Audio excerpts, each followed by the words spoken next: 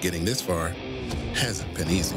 That's why Nissan spent generations testing limits and pushing boundaries so you can experience the thrill of driving beyond your wildest dreams. This is the new Nissan.